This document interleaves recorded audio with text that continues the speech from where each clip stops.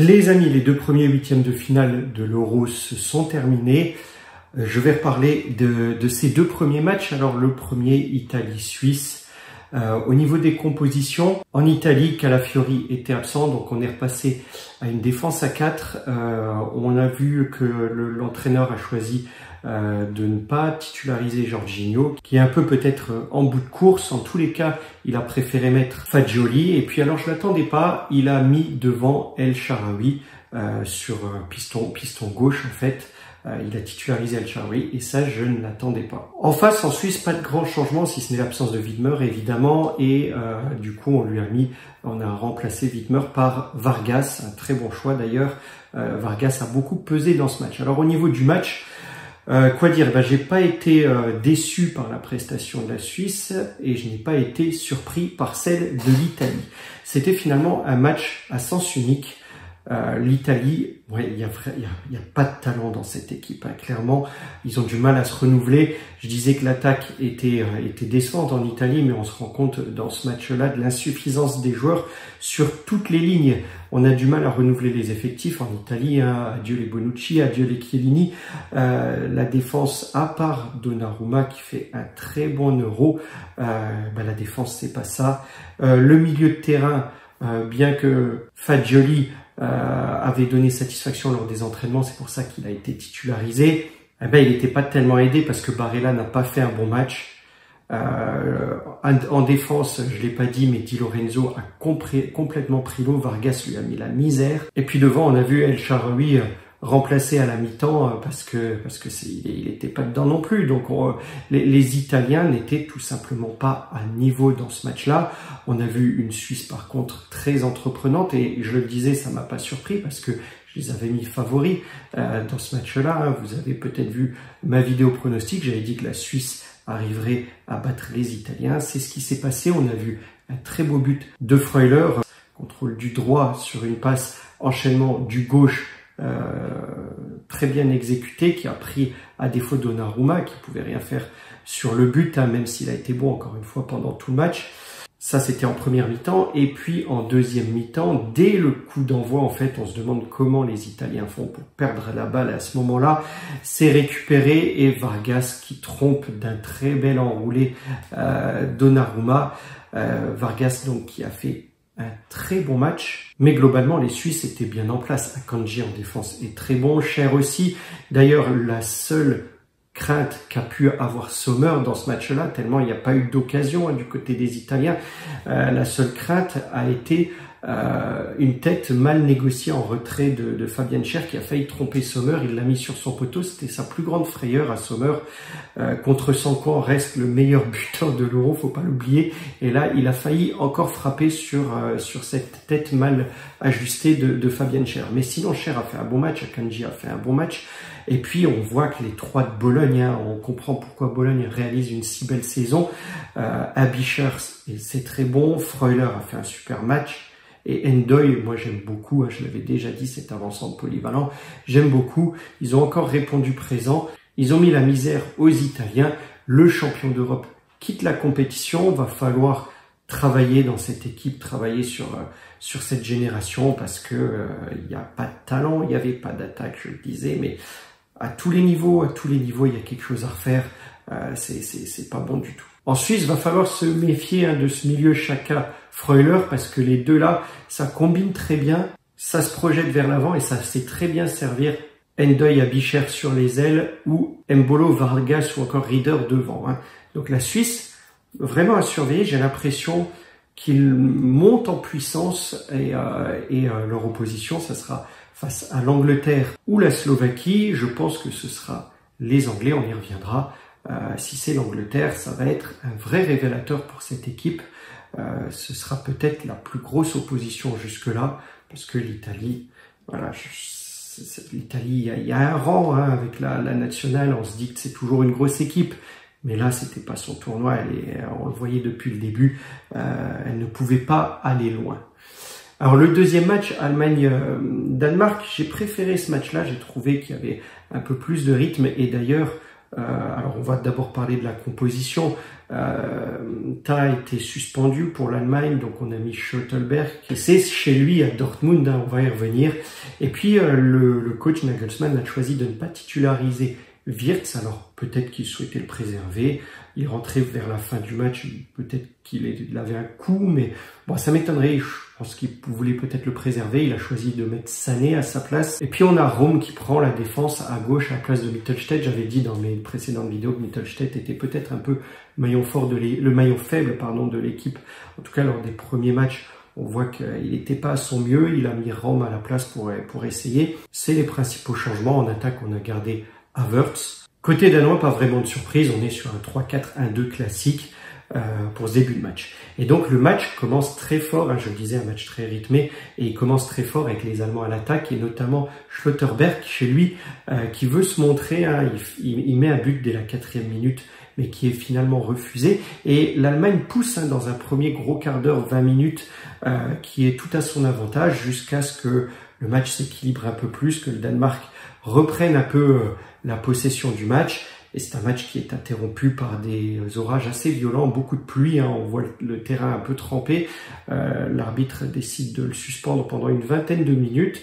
Le match reprend pour les quelques minutes avant la pause. Et juste avant la pause, eh bien, ça a failli être le hold-up puisque euh, le Danemark a une occasion vraiment très chaude qui passe juste à côté. Globalement, l'Allemagne a plutôt dominé ce premier acte, cas dans la première partie de la mi-temps, avant d'être gagné un peu par la fébrilité, alors que le Danemark faisait dos rond et cherchait euh, les petites occasions par des contre-attaques. En deuxième mi-temps, eh bien, fallait pas louper le début, hein, puisque euh, on a eu un, ascenseur émotionnel avec Andersen qui ouvre d'abord la marque, hein, le Danois Andersen qui ouvre d'abord la marque.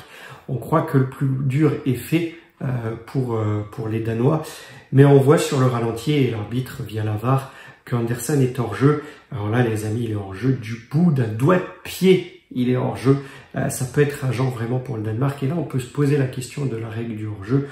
On sait qu'il y a la loi Wenger, les amis, je ne sais pas si vous êtes au courant, qui est en train d'être testée dans les équipes de jeunes, notamment en Suède et en Italie. Hein, la loi Wenger qui prend un peu le contre-pied de ce qu'on voit aujourd'hui dans la règle du hors-jeu. Aujourd'hui, si on est une infime partie hors-jeu, enfin, si la fine partie du corps dépasse celle du défenseur, on est hors-jeu. La loi Wenger, elle, voudrait que dès qu'on est couvert par le défenseur, ne serait-ce qu'une partie, on reste en jeu. Et dans ce cas-là, le but aurait été validé. Imaginons qu'il y ait juste le talon qui reste couvert par le défenseur adverse, le but serait validé, on reste couvert. Donc, va falloir voir dans les mois, années à venir, comment va se mettre en place cette loi et si elle sera finalement euh, euh, promulguée par le board. Euh, mais en tous les cas, ça peut renverser un peu le, le, cours des matchs. Et là, le Danemark aurait pu mener au score. C'est une loi qui ira dans le principe du spectaculaire et avantageux pour les attaquants. Le but est refusé et sur l'instant d'après, l'arbitre a beaucoup de travail sur l'instant d'après, eh bien, ce même Anderson euh, fait une main dans la surface sur un centre et là aussi, vérifié par la VAR, l'arbitre désigne le penalty. Donc vous imaginez, Anderson, c'est un match fou pour lui. Euh, il pense être aux anges avec un premier but qui est finalement refusé, et puis cette main qui cause un penalty contre son équipe. Havertz se charge de le transformer, il le frappe très bien. Il trompe Schmeichel, Schmeichel qui jusque-là réalise un très grand match. Hein. Il est décisif sur plusieurs arrêts pour le Danemark. Mais c'est dommage, en tout cas pour euh, le Danemark. C'est bien l'Allemagne qui mène au score à ce moment-là. Et là, on sent un peu ben, qu'il s'est passé quelque chose. Le Danemark euh, baisse un peu de rythme, n'est plus dans son match. Et Andersen euh, est peut-être marqué parce que quelques minutes après, Neuer dégage son camp, fait une passe à, à Schottelberg en défense qui euh, envoie un long ballon qui ouvre sur, euh, sur Moussiala. Moussiala qui prend la balle dans le dos d'Anderson, justement. Hein. Anderson se fait, se fait avoir dans le dos finalement. Moussiala récupère la balle, la balle va plus vite et, et réalise une belle frappe aussi enveloppée ici euh, pour tromper Schmeichel et euh, permettre à l'Allemagne de gagner 2 à 0. Donc Anderson aurait pu être le héros du match, il est fautif finalement sur les deux buts euh, de l'Allemagne. Mais globalement, le Danemark a été assez héroïque, ils n'ont pas lâché, euh, ils n'ont pas lâché le match comme a pu le faire les Italiens. Les Italiens jouaient plus au bout de la 70e minute. De toute façon, l'Italie a pratiquement pas joué le match, euh, tandis que les les Danois, eux, ont été vraiment héroïques. Ils ont eu des occasions euh, pendant tout le match, même quand ils étaient menés 2 à 0, ils auraient ils auraient pu trouver la faille à certains moments. Euh, ils n'ont pas lâché le match. En face, on avait un grand Moussiala un grand Schottelberg en défense, un grand Rudiger qui fait rire parfois sur certaines euh, de ces occasions. Euh, Sané a été pas mauvais, même si je lui préfère Wirtz hein, quand même. Euh, Wirtz qui est rentré en fin de match. Euh, Schmeichel a été très grand. Schmeichel a réalisé beaucoup d'arrêts. Et Havertz a fait un très grand match. J'ai hésité, moi, entre, je vous l'avais dit lors des précédentes vidéos, entre titulariser Fulcro pour essayer à sa place ou laisser Havertz. Havertz m'a fait démentir sur ce match-là. Il a un vrai rôle euh, de pivot, de point d'appui, de relais. Euh, et puis, euh, il, est, très bon techniquement. Il pèse sur la défense. Il a fait vraiment un grand match. Donc je comprends Nagelsmann hein, quand il choisit de, le maintenir à son poste et de le titulariser. Euh, c'est vrai, est bon aussi, mais ça reste un bon joker finalement. Euh, si Havertz venait à être cramé, on sait que Fulkrug euh, ferait le job, mais euh, on voit qu'Havertz euh, est, bon dans ce rôle, et je précise dans ce rôle, parce que je l'avais dit déjà avant l'euro, si on le met à gauche, Havertz, ça sert à rien, faut le laisser là en pointe, faut le laisser en point de fixation, c'est là qu'il est le meilleur. Alors je vous donne encore une statistique, mais dans le match de la Suisse-Italie, que j'ai oublié de mettre en, début, quand, enfin quand je parlais du match, il faut savoir que le but de Freuler, ben, il y a un record avec ce but-là.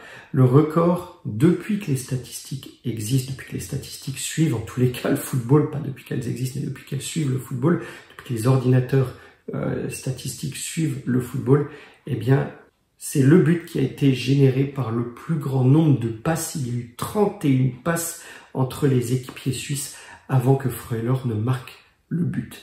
Ça montre aussi que ça jouait bien en Suisse hein, et que ben, l'Italie euh, n'arrivait pas, encore une fois, à prendre la balle. De toute façon, l'Italie n'arrivait pas à faire grand-chose, n'arrivait pas dans les transitions, n'arrivait pas à se projeter vers l'avant, n'arrivait pas à défendre, n'arrivait à rien. Ça continue donc pour la Suisse, ça continue donc pour l'Allemagne.